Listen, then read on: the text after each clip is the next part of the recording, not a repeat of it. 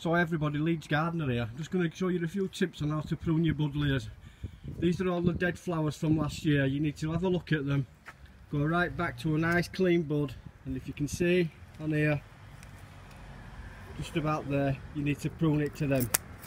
All the way down. If you cut this down too short, don't worry about it because it'll put two and a half, three foot of growth on in the same season. So just go around the plant nice and steady, trimming out any old bits of dead wood that you see.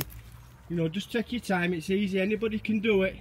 If you like this video, subscribe and come back and thanks for watching. Bye bye.